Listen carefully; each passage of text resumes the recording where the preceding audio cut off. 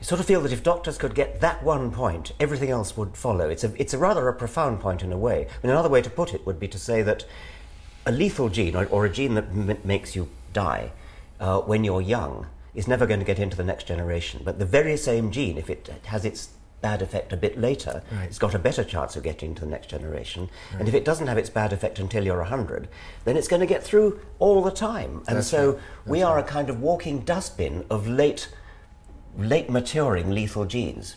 And, and, um, But if any of us had a gene that made us die young, well, none of our ancestors had a gene that made them die young. And, and indeed, yeah. How many of your grandparents died before reproducing, Richard? Yeah, very good point. right. What about mental health? Um, can we bring Darwinism to that? We certainly can. And many people imagine that it's just them and their family that have problems with depression, alcoholism, anxiety, and, and schizophrenia and the rest. Oh, no, no. Uh, the World Health Organization data shows that, especially for women of reproductive years in modern countries, more than half of all of the medical disability and early death is from mental problems mainly depression and anxiety disorders. But let's take anxiety for a second. Wouldn't it be great if we didn't have any anxiety? If we were just completely relaxed and mellow all the time. Except that you know, we wouldn't have prepared for this program at all. We wouldn't have done our studies. But it's worse than that. Imagine if we were at a watering hole in Africa well before anybody learned to read. Um, a lion comes by and we run like mad. But there's some variation, isn't there? Some people run at the least hint of a lion. Some people run when the lion's coming near them. And other people don't run until the lion is right on top of them and you can see where this is going. The ones who run away when the lion is a long ways away never get any water. That's really bad for you. The ones who wait until they can smell the lion's breath often become lunch for lions. It's those people in the middle who do best. But now we're back to the smoke detector principle. Imagine you hear a sound behind a rock at that watering hole. How loud does the sound have to be to make you run away? You don't know whether it's a monkey or a lion. How loud does that sound have to be? And you can actually calculate just how loud it should be. If the cost of running away is, say, a couple of hundred calories, and the cost of not running away if that sound comes from a lion is 200,000 calories, then you should run away whenever the sound indicates that the probability of the lion being there is greater than 1 in a thousand. This means that the majority of times you have a panic attack and run away, you won't need to. But it's still perfectly normal. I treat patients with panic attacks quite often. It's a very treatable psychiatric problem now. And I had never really grasped what was going on until I took this evolutionary view and realized that the whole system was designed. The whole system was shaped by natural selection uh, to go off with many false alarms. And that's why we're all so prone to anxiety that it really doesn't help us most of the time. And some people have their smoke detectors tuned a little bit more they risk certainly averse do. than others. They certainly do. Yes. And they have advantages as well as disadvantages. My patients find this wonderfully empowering. They've always thought that they were just anxious people who weren't as good as other people. And when they finally learn that, in fact, they have real advantages over other people because they're more sensible in some ways, that helps them quite a lot. I was going to ask about that because a lot of what you're saying is explaining why we go wrong in these ways. And I was right. going to ask you, how does it actually help to cure people? And you've just given one reason, which is that your panic attack patients actually are comforted by having the explanation given them. Not only comforted, about 20% of them get cured. Get better, yes. Yes, and previously they would say, I think it's cancer, doctor, I think I have a brain tumor, I think I have heart disease. And I would say, no, no, no, the test showed that you don't have that. And they'd say, yes, but I still could. But they didn't really understand what panic attacks were. Once I started saying, listen, panic attacks are false alarms in your getting away from lions system. And because they're false alarms, running away and getting out of the store doesn't do you any good. In fact, every time you get out of the store and run away from your own anxiety, it makes it worse. About one out of five patients says, Oh, now I know what that is. I'm just going to ignore it. And they go about their lives and they're not bothered by panic anymore. Very, very practical. I suppose you, one could say, well, but th there aren't any lions. I mean, it's. Nowadays, it's not all yeah. that useful, although we still do have fatal kinds of dangers sometimes. Not lions, but more likely other people um, and other kinds of dangerous situations. Yeah. Randy, in a nutshell, what is Darwinian medicine and what can it tell us?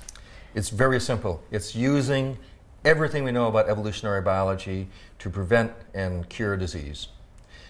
This means that there are a lot of things we need to do differently. Some we've already been doing very effectively. We do evolutionary genetics quite well, and we're doing it better and better. We're using evolutionary biology to understand bacterial evolution and antibiotic resistance. Oh, yes. It's already been done well, and we can talk more about that in a minute if you'd like. But this larger picture is what George Williams and I have tried to get across. It's this sense for what the body is as a body, not a machine, and really it all comes down to asking a question that has not been asked as seriously as we'd like to see it asked. That question is, why isn't the body better? Why didn't natural selection make us better? And to simplify things, we list six possible reasons. The first one is that other things evolve faster than we can, so it's no surprise we still get infections. The second one is that the environment is different now than it used to be, so or we can't evolve fast enough to keep up. So the first two are because we can't evolve fast enough. The next two are because natural selection can't do everything. There are a lot of constraints on it. It can't go back and start over again, and there are going to be mut- mutations creeping in, so the information store is going to get corrupted. Uh, just can't can't do better than that. That's and natural selection stuck with it. Closely related are trade-offs. Even in machines, like in bodies, nothing can be perfect because if you made it absolutely perfect, um, the cost would be too great. You could make a car that would go a thousand kilometers on a tank of gas, but the whole back seat would be taken up with a gas tank and it would blow up every time it got hit by another car. The final two explanations are not really explanations for why natural selection didn't make us better, it's explanations for how we misunderstand the body. In particular, we, we think that the body was shaped for health, and of course it was not shaped for health. It was shaped for maximum reproduction, and this explains a lot. And the last one we've just been talking about is defenses. Fever, pain, nausea, vomiting, and all the rest are not diseases. They're defenses shaped by natural selection, and their regulation has been shaped by natural selection. So these six things are possible answers to the question about why natural selection has left our bodies vulnerable to disease. Our bodies are so fabulous in some respects. Our heart keeps beating and never takes a five minute vacation for decade after decade after decade. That's astounding. Our eyes work so well late into life for most people. But we have an appendix, we have a wisdom, wisdom teeth, birth is difficult, uh, many people get nearsightedness, and the combination of some things being so perfect and other things being such botched jobs is what should make us all sit up and take notice that this is not a machine. This is something that's been shaped by natural selection. It has a lot of vulnerabilities built in that can be explained only by how natural selection works. If you had your way, could you uh, retrain doctors to think differently? And w- how, how differently would they actually act when they're faced with patients? You know, there are a lot of specific things that doctors can do differently as they understand natural selection better. For instance, using drugs to block pain and vomiting. Um, if you think more evolutionarily, you'll do that slightly differently Mostly, of course, you'll do the proper research uh, to get the answers. I don't think natural selection actually tells doctors practice differently immediately. What it gives doctors is a more accurate sense for what a body is. So when a doctor sees aging, many of them think of a machine breaking down because parts break. But once you start recognizing that that's not just what's going on, that every aspect of the body breaking down is involved with some trade off that probably has advantages, and talk about how practical this is. We're now finding specific genes that are involved in aging. Um, would it be very wise for just to go and knock out those genes? We soon may well have the capacity to do that. If you're thinking just from a mechanical point of view, that sounds like a good idea.